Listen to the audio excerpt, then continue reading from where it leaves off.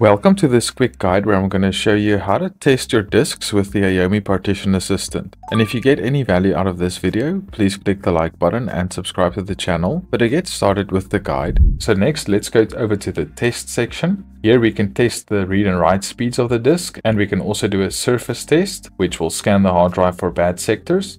Let's go ahead and run a disk speed test. And I'm going to run this on my SSD so I'll select the C drive. If you want a more comprehensive test, you can click on Pro mode and you then also have some other test modes that you can go ahead and play around with here. For this tutorial, I'm just going to use the simple mode, then click on Start. And it's then going to start testing the disk speed of my SSD. And first, it'll test the read speed and then the write speed. And then once it's done, it'll display these results.